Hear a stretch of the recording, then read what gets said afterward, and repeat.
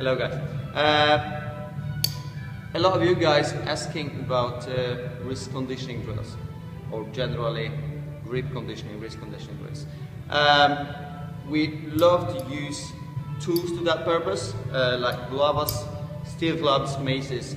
Uh, but what if we don't have one? Okay, let's just get rid of it. Okay. Uh, what I sh can show you is like three variations of a nice, nice drill which can help you in a torch press or generally overhead press with the club, okay, or, or the bulava. Uh, we've noticed that on the, on the classes people tend to help themselves with the with the thumb or with the finger when they press up, okay? So this this stabilizing the stabilizing exercise is just uh, is just uh, a must. Okay, so let's let's go for it. Let's let's check it out. So first exercise would be going from your knees, going from your knees, driving hips forward, contracting your glutes, pushing the shoulders down, and then driving your top of your fists forward. Okay, and back. Okay, keeping your structure, keeping your structure, doing seven to ten reps. Okay.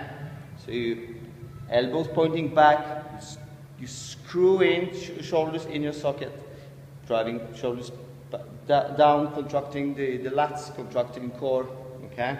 And then working your wrists, all right? When you get comfortable with the, with the level one, you can always go to a push-up position in the same, the same way. So, so you're pushing elbows back, shoulders down, contracting your core, hips forward, contract your glutes, lock your legs, and then you're going forward. All right? So you're going this way. All right? Got it? Nice. Okay?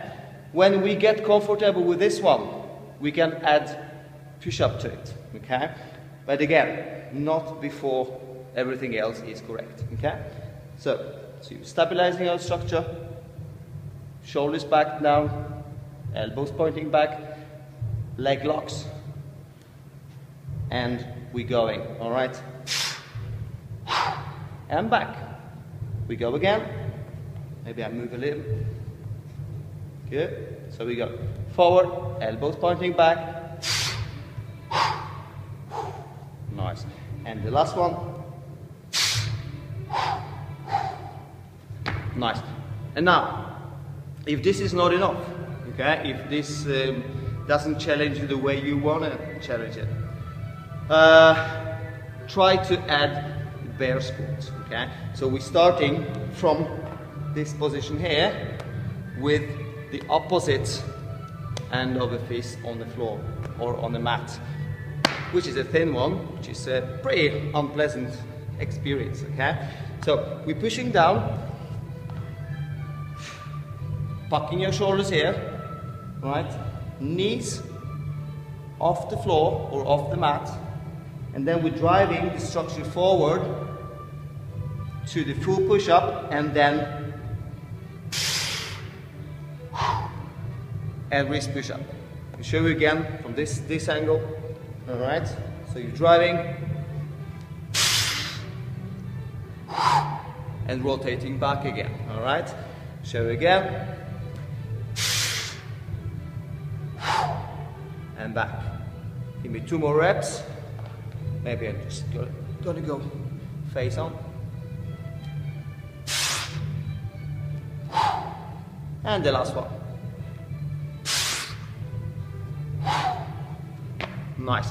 Okay. So you got four different, the same exercise, four different levels, okay? Play safe, have fun, get your knuckles ready, okay? Thank you.